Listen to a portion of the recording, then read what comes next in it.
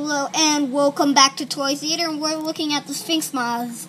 Well, this is part one because I'm going to do two parts just to show you this one. He has grown, um, very big. And so, the Sphinx moth is day eight. So, the eyes are not formed yet, but beneath the, but they are beneath the skin. So, the shape is beginning for his eyes, so that's cool. And yeah. I don't know if I can get that into focus, but yeah. Yeah, so yeah. The stripes um the close up close up the stripes look like uh, the stripes are forming. They're soft to touch, but when they're far away they look like scales. So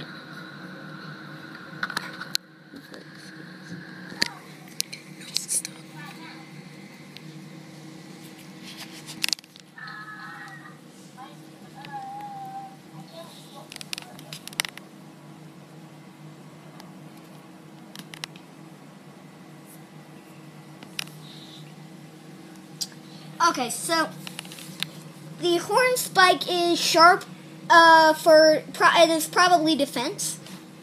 So yeah, it's pretty sharp.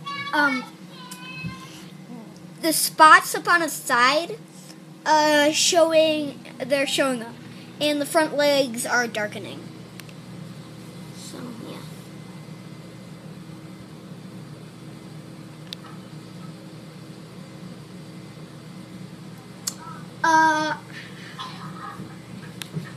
Yeah, yeah. So the tail shape, um, as they grow, the the rump looks like a scary face.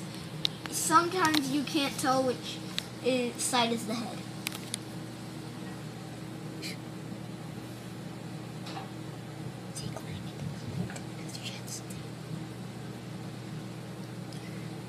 Um and the tail and the tail shape. You can imagine the hummingbird tail on the moth's um, on the moth's final form already visible on this caterpillar. So that's cool.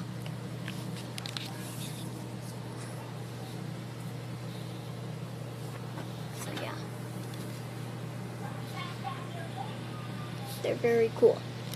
And they're they've this guy's grown a lot from the three days I was out of town. But yeah, they have been very long. Yes, so.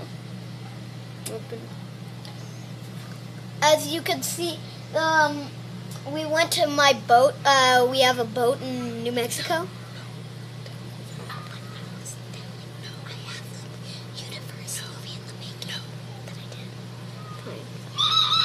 So yeah.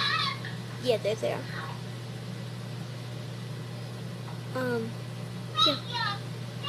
Well, that's about it for this video. I hope you liked it and have a nice rest of your day.